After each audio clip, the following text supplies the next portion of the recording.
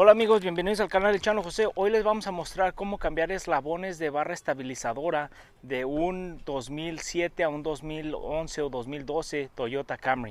Y para eso eh, les vamos a mostrar lo que es los componentes, el proceso, para que se den una idea cómo hacerlo ustedes mismos en casa, sin tener que gastar en mecánicos y en partes innecesarias.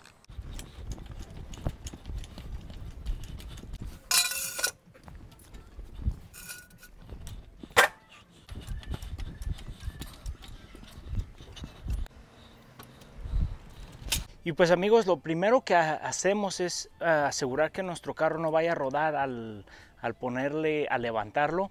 Y ahora lo que hicimos es que lo levantamos y le pusimos dos torres para que el carro eh, quede eh, fijo y así porque no, no, usamos el gato solamente entonces ponemos las dos torres para asegurar.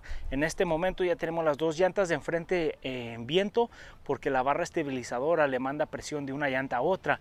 Entonces tenemos que levantar completamente la suspensión de enfrente para que no haga presión de un lado a otro solo si, si levantan un lado nada más el otro lado le está mandando presión a una llanta. Entonces queremos que las dos llantas no tengan presión en completo. Entonces ya, estamos, ya está asegurado el carro, ahora quitamos las llantas y empezamos el procedimiento.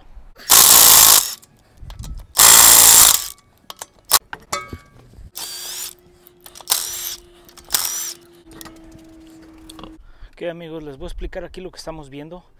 Eh, aquí tenemos pues nuestro disco, nuestro sistema de frenos y este son los ah, eslabones de la barra estabilizadora entonces este lado está conectado a esta barra, cual esta barra va todo abajo llega al otro lado y está conectado a la suspensión también.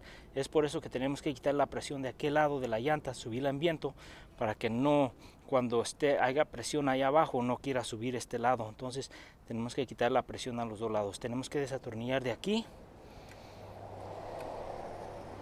y tenemos que desatornillar de ahí de abajo para desconectar la barra y poder cambiar este eslabón de la barra estabilizadora. El eslabón es, de este Toyota Camry está conectado al amortiguador de este, en este punto y está conectado a la barra estabilizadora. Entonces los desconectamos de esos dos puntos, le agregamos un poquito de WD-40 a los dos lados para poderlo quitar y luego quitamos el otro lado del mismo procedimiento.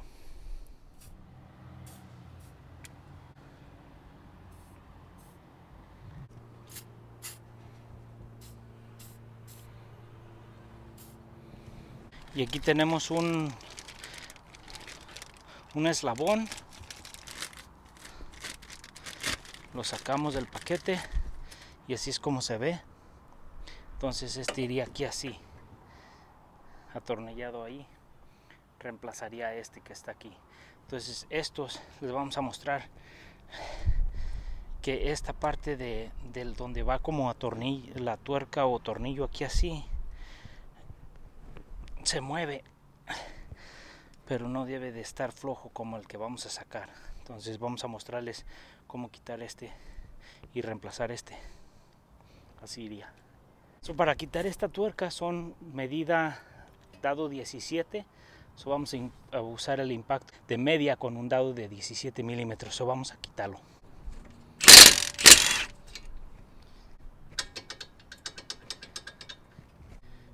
Y aquí aflojamos el que va arriba, ahora hay que aflojar ese que está aquí abajo.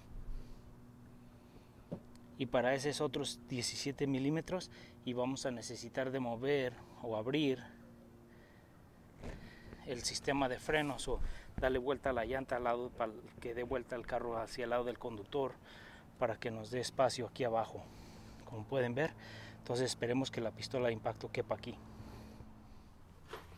aquí abajo lo que hemos hecho es que en vez de meter un dado derecho hemos metido vamos a meter un dado de estos que tiene movimiento de ángulo. Entonces vamos a quitar ese porque la pistola de impacto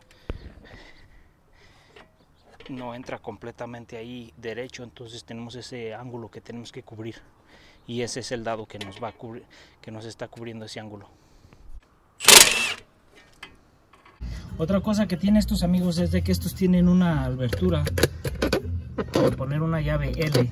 Entonces si no sale van a tener que poner la llave L y darle vuelta con otra llave 17 les voy a mostrar cómo lo estoy haciendo yo porque el impacto lo único que empezó a dar vuelta todo completo desde desde adentro y no me dejaba aflojar. Entonces tuve traté el impacto primero aflojó poquito pero ya empezó a dar vuelta todo completo.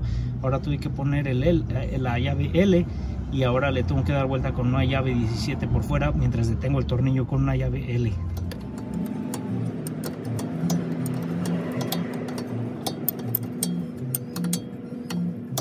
Y si tienen una llave de este tipo de, matraca se los recomiendo que agarren un set porque miren les hace la vida más fácil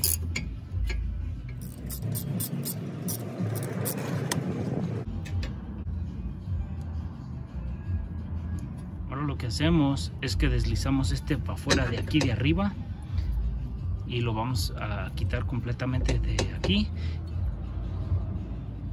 Ahora lo que hacemos lo quitamos completamente de aquí de arriba y de abajo y así ya podemos poner el nuevo de regreso.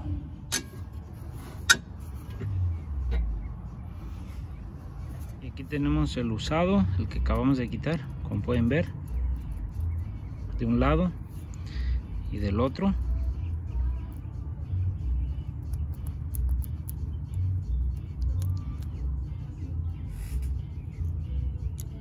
tiene ya mucho desgaste entonces esto vamos a reemplazarlo. Y este es el nuevo. La diferencia pues sí porque está nuevo verdad pero con el tiempo va a empezar a agarrar ese se va a empezar a aflojar pero mejor que lo que traemos está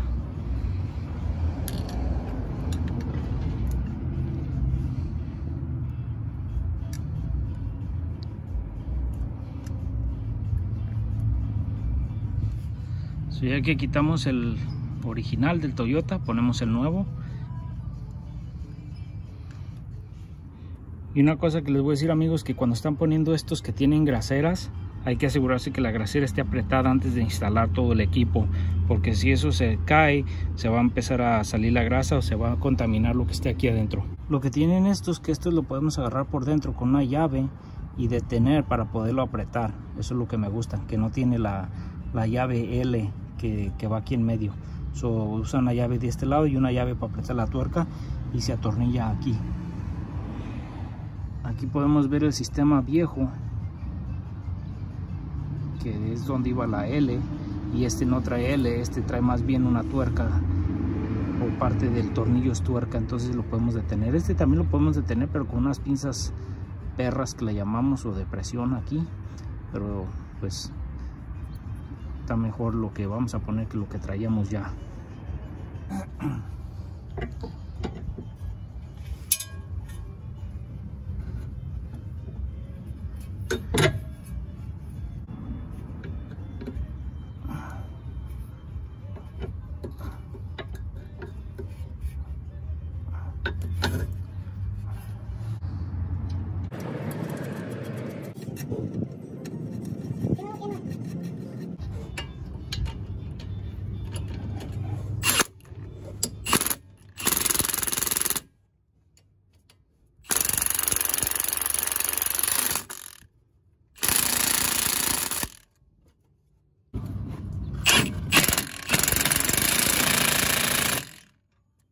pusimos y atoramos la parte de abajo, la parte de arriba.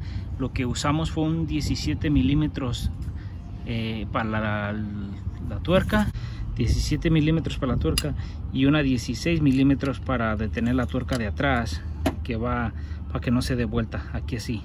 So, el impacto apretó esta y este detuvo aquí. Entonces eso fue lo que usamos. Para estos nuevos usamos, el original viene con una tuerca de 17 milímetros y con la una, una llave L para quitarle por si en caso que dé vuelta completo esta. No este venía con la tuerca eh, integrada en el, el, tornillo y la tuerca que aprieta. Eso es una 16 el que venía integrada en este eslabón. So ya quitamos el lado del pasajero lo instalamos ahora quitamos el lado del conductor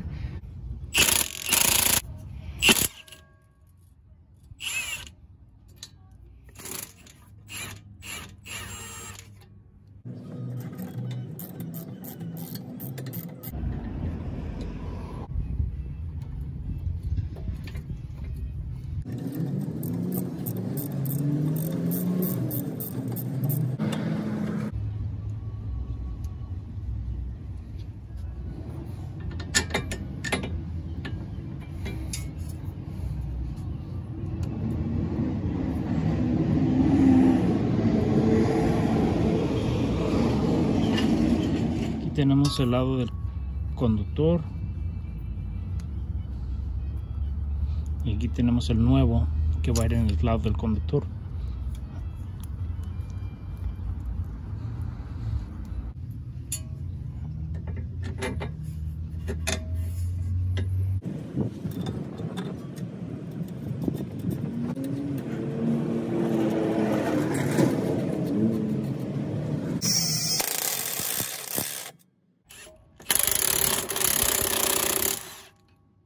ya reemplazamos el lado del conductor también. Ahora ya nomás hay que ponerle las llantas y ya terminaríamos con el proceso.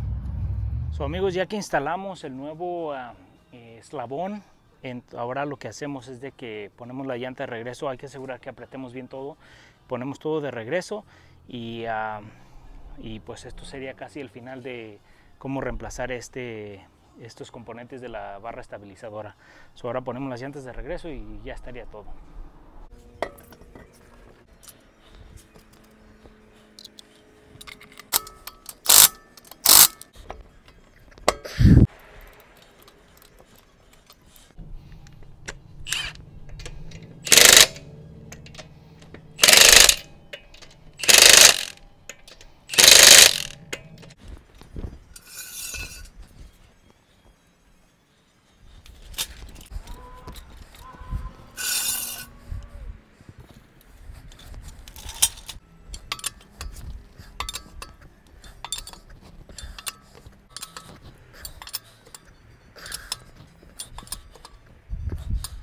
Bueno amigos, esto fue una idea de cómo cambiar estos componentes de la suspensión, los eslabones de la barra estabilizadora.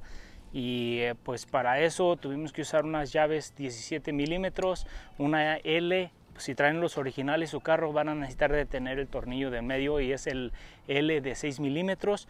Eh, yo para los nuevos tuve que usar una llave de 16 milímetros para detener la parte de atrás porque no traía la L y pues asegurarse al, levantar su carro yo les recomiendo de que no hagan un lado nada más, levanten su carro completamente y pónganlo en viento los dos lados porque una llanta le manda presión a otra por este medio de sistema. So, este sistema lo que hace es de que la barra estabilizadora lo que hace que una llanta le manda presión a otra para que las dos estén en el, en el piso y tengan más control su carro. Eh, estos componentes son muy importantes, parece que no, pero esto es muy importante porque en una, como digo, es control de la suspensión del carro.